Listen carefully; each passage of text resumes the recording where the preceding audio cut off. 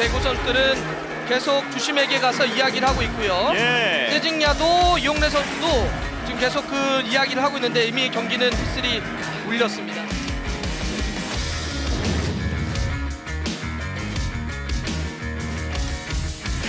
포착 능력. 그렇죠.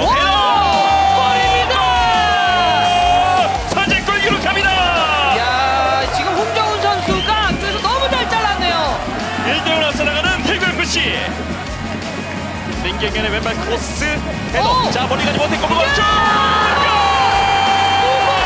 완전골 기록합니다. 무고사. 이거예요. 말씀드렸던 것처럼 무고사는요.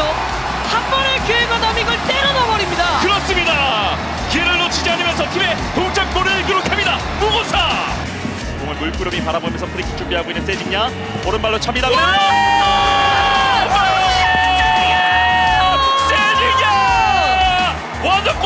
프리킥골을 기록합니다. 세징야. 아, 정말 어마어마한 골을 기록해주는 세징야 자신의 올 시즌 다섯 번째 골. 세징야가 마지막이에요. 자 멈춰 세우면서 왼쪽으로 자 이제 마지막 인천의 한 번의 공격 기회밖에 남아있지 않은 시간 박스 안쪽 붙여줬습니다 헤더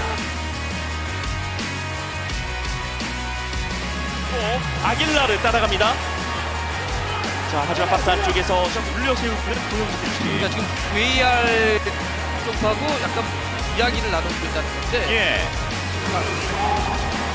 아, 아, 혹시 여기서의 파울을 보는 것 같은데요. 이 볼이 붙였을 때. 예. on-field 리뷰 결과 오! 찍었어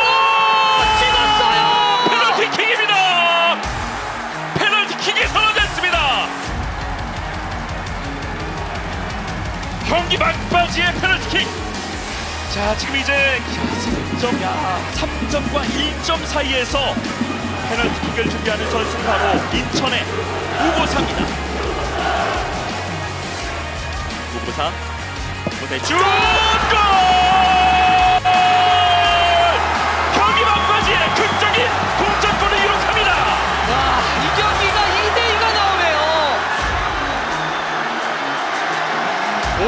골을 기록한 무고사가 팀에 승점을 안겨주고 있습니다. 아, 침착하게 페널티킥 이 주어진 페널티킥을 완성시키면서 자신의 올 시즌 11번째 골까지 만들어냈습니다. 지금 예 그렇고요. 대구 선수들이 계속 항의를 하고 있는데 고영준 주심의 시그널을 제가 지금 보고 있는 것은 뭐냐면 점프를 한 상태에서 팔을 들었고 그것이 볼이 와서 야 끝내네요. 이대로 경기가 마무리가 됐습니다. 역동과 감동 하나원 큐 인천과 대구의 맞대결 2대2 동점으로 마무리가 됐습니다. 네 지금 대구 선수들은 계속 주심에게 가서 이야기를 하고 있고요. 예. 세징야도 이용래 선수도 지금 계속 그 이야기를 하고 있는데 이미 경기는 휘슬이 울렸습니다.